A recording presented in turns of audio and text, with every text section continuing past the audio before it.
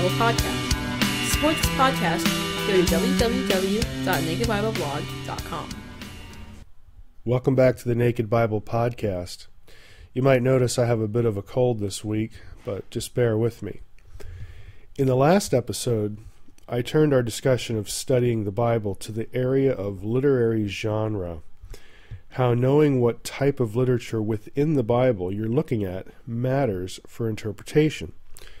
We began last time with a discussion of how to intelligently read biblical narrative. That was called close reading. In this episode, I want to focus on the genre of law or legal literature.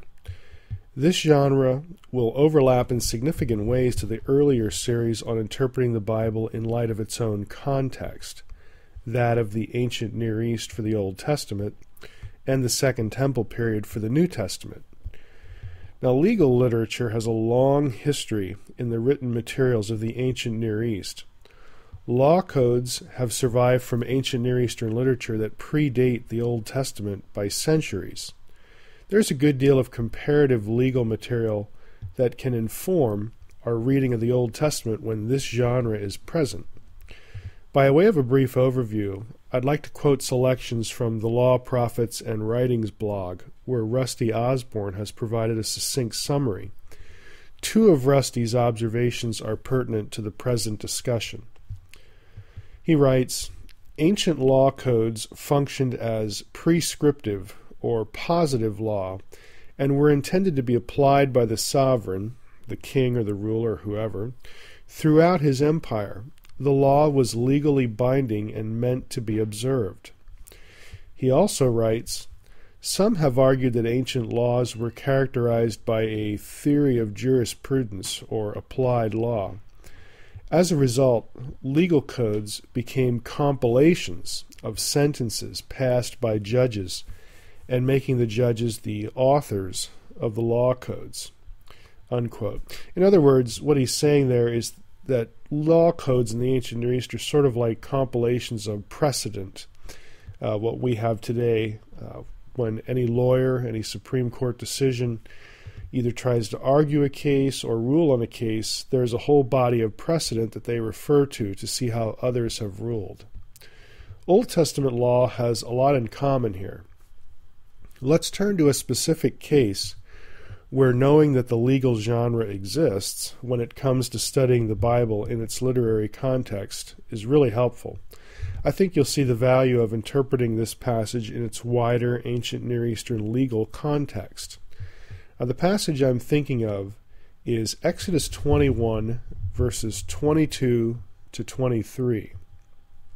When men strive together and hit a pregnant woman so that her child or children come out, but there is no harm, the one who hit her shall surely be fined, as the woman's husband shall impose on him, and he shall pay as the judges determine. But if there is harm, then you shall pay life for life. Unquote. In case the interpretive problem isn't clear, let me unwrap it a bit.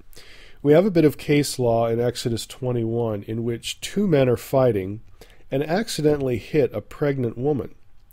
As a result, the woman loses the child she's carrying, either in the sense that the injury caused her to give birth prematurely, or she miscarries.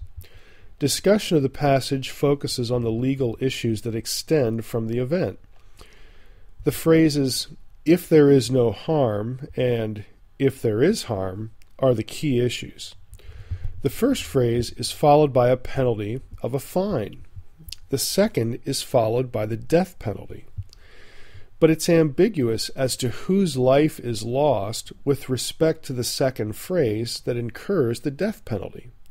Now, the passage can be read as follows The first phrase is read as, If there's no harm to the woman, then the one who hit her shall be fined according to what her husband demanded, and the judges decide.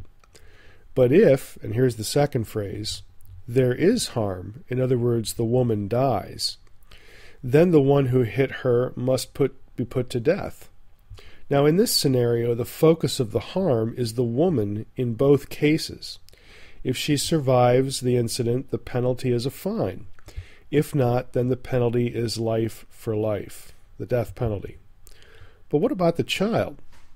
Since the Hebrew behind the phrase, that her child come out, is elsewhere used for miscarriage and not live premature birth, that is, there's a biblical usage precedent for seeing it as a miscarriage, but not a precedent that's clear anyway for a live birth, even though that's possible. Many people argue that this passage values the life of the woman more than the miscarried child, because there's no death penalty named for the child that was miscarried. In other words, the focus is only the woman. The child's death is just completely incidental. Now, this assumes, of course, that the loss of the child resulted in its death. The passage doesn't actually say that, but that's certainly possible. So here's the question Does this biblical passage show a higher estimation for an adult woman than a fetus? This rationale has been used to justify abortion, most famously by the Southern Baptist President Bill Clinton during his campaign and presidency. Now, the answer to the question is no. Aside from the ambiguities in the passage rendering any such opinion of it tentative, the genre of the passage needs to guide its interpretation. Now, in terms of genre, this is legal literature. As such, it is not a philosophical or theological treatise. Legal literature is about crime and punishment. It's not designed to make theological statements about whether a fetus was considered a person or not. Fortunately, there are clear parallels in the ancient Near East of this type of literature, and even more significantly, the same kind of legal scenario. Let's take a look at the famous law code of Hammurabi. Now, lines 202 through 214 in Hammurabi's code concern crimes of assault and their punishment. Let's read those lines. We'll begin with line 202. If a man has struck the cheek of a man who is more important than he, he shall be struck in the council sixty times with an ox tail. 203. If one man has struck the cheek of another such man of similar status, he shall pay one mina of silver. Now, notice in these first two lines, the issue is social status. That's going to become important. Line 204. If a working man has struck the cheek of another working man, again a lower status here, he shall pay ten shekels of silver. 205.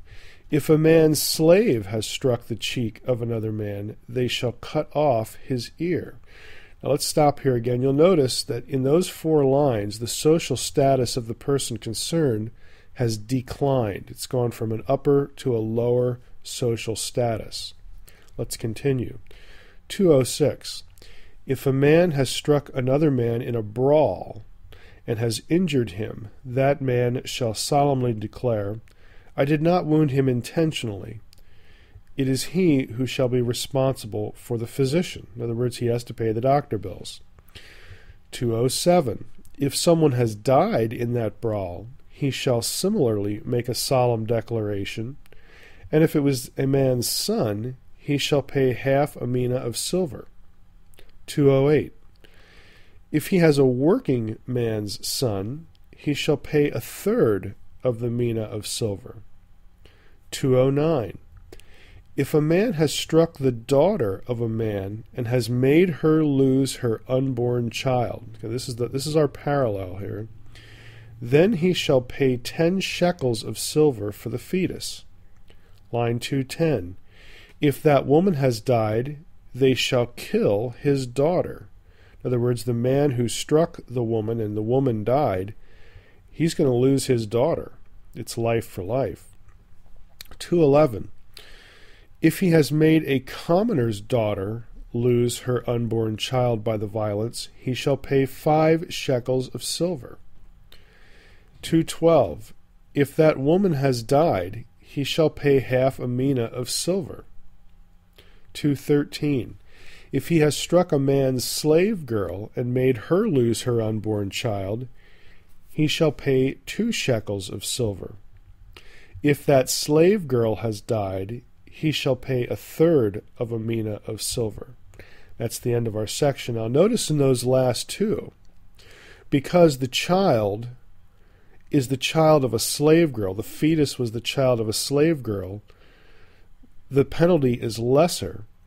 And because the slave girl, if or if the slave girl died, there is no life for life. The, the person who did it doesn't lose his daughter. Again, it's very clearly dictated. These decisions are very clearly dictated on social status of the people and the child concerned. Now, if you were listening closely, you would have discerned all that. You would have discerned that there were a range of different payments for the loss of adults versus children versus the fetus, male and female, social status of the males. These victims, or these differences, have nothing to do with whether the victim was considered a person. Rather, the difference is derived from what social class the victim was in. Let me read a few lines again and listen for the differences. Line 209 If a man has struck the daughter of a man and has made her lose her unborn child, he shall pay ten shekels of silver for the fetus. If that woman has died, they shall kill his daughter, the offender's daughter. If he has made a commoner's daughter lose her unborn child by the violence, he shall pay five shekels of silver. If that woman has died, he shall pay half a mina of silver. It's very clear here that though the woman and the fetus are valued differently, okay, one you pay a fine, the other one, if the woman dies, the offender loses his daughter, so it's life for life. That has nothing to do with whether the fetus is considered a person or not. It was, again, the social status, the social standing of the person involved, the victim. We can see that because when we get to the commoner's daughter in the last two lines, and she loses the child, then there's a lesser payment in both regards, both for the fetus and also for the woman herself if she dies. The issue is very clearly social status. Now, we have these differences in social class in these texts. Commoners are distinguished out, adult males, women against children, that sort of thing. These lines, again, value a commoner's daughter at half a mina of silver, whereas the death of a daughter of a man not described as a commoner results in a death penalty. Both were adults, yet there was a difference in valuation. One isn't more of a person than another. Again, it's very clearly social status. So the issue is social class, not personhood. You know, it's really inconsistent hermeneutics on the part of those who want to look at a passage like Exodus that we read early and want to use it to justify a modern issue like abortion, a modern uh, hot potato like abortion. And then they turn around and want to talk about how the Bible is a product of its own time and culture and we ought to interpret the passage in context. Well, they're not doing that. They're imposing a modern issue on the text and they're making the text speak like a modern philosophical or theological treatise when that isn't what it is and it isn't what it was for. So, this is an issue of genre. Other genres of biblical literature might be more apt to tackle, you know, more highbrowed questions such as personhood, but legal literature isn't about that. Now, I hope this example shows that exploring the implications of biblical genre is important. As it pertains to our Exodus passage, if we're really going to interpret that passage in context, in its literary context, and of course in its ancient Near Eastern context, the passage makes no comment on the devaluation or valuation of a fetus. The reason that there are two different penalties in Exodus is not because the biblical writers thought that a fetus was not a person. It's because they were very consistent. They were a product of their own time and culture and literary culture, in that they recognized different social classes and different penalties. Next time, we'll look at another type of biblical literature. Thanks for listening. Thanks for listening to the Naked Bible Podcast. To support this podcast, visit www.nakedbibleblog.com. To learn more about Dr. Heiser's other websites and blogs, go to www.drmsh.com.